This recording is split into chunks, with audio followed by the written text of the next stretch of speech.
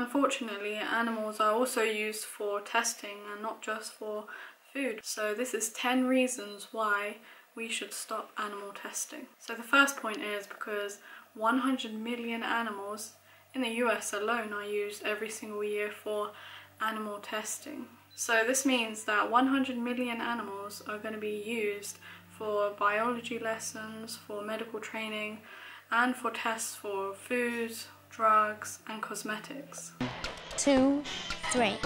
Come here. I want to take you on a trip. It won't be pretty. Look. What do we see? Testing, test, testing, testing. Animal testing. They get hurt.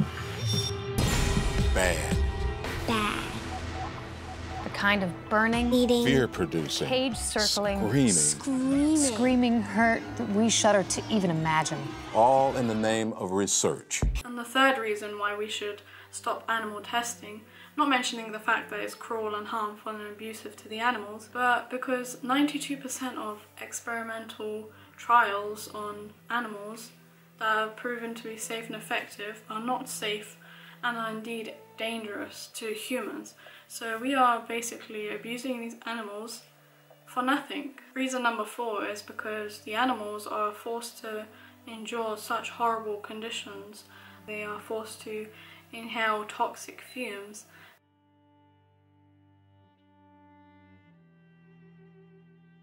Some have holes drilled into their skulls, and others have their skin burnt off or even their spinal cords crushed just for us. This is so unnecessary. We don't need to harm animals. There are plenty of cruelty free products on the market that don't use animals and do not use and abuse animals. Reason number five is that the animals are confined to barren cages and are obviously psychologically traumatized.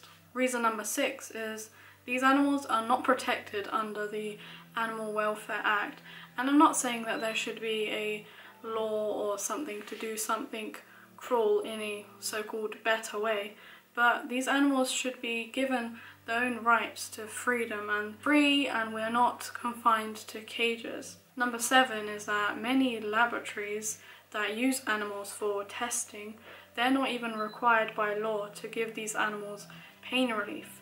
And I'm not saying animal testing is right if we give the animals pain relief, and in fact, it shouldn't happen at all. It should be stopped. We shouldn't be using and abusing animals just for our own sake. But this is just to point out that these animals are given nothing. They're not even considered as animals. They're considered as just objects are used for an industry, for big industry. And you might be questioning why these animals are not getting pain relief. Well, guess who's in charge? It's actually the USDA. And do you think the USDA would be interested in helping the welfare of the animal? No. Everything is all about money, and this is why it's so sad. And reason number eight so, when these laboratories are fully compliant with the law and they do the best that they can, they're still guaranteed to cause harm to the animal. Animals who are used in these laboratories, fully compliant with the law, can still be burned and shocked and poisoned, and they're left isolated, no food, starving, and also forcibly restrained. And this can lead to so much brain damage. And reason number nine why we should quit and stop using animals for testing is because a high profile study was made by the British Medical Journal and they stated that it's completely wasteful and ineffective what we do to these animals. Something that works for an animal like a chimpanzee won't work for us humans. We're biologically different in so many ways. Something that works for a chimpanzee is not guaranteed to work in animals and this just highlights how ineffective and wasteful we're wasting these animals' lives and putting them in this stress and all these horrible conditions for nothing really. And reason number 10 is because there have been so many non-animal research methods already out there and they are so much more accurate and so much better than the cruel things we do to these animals. So yet again another reason to stop animal testing. So what can you do?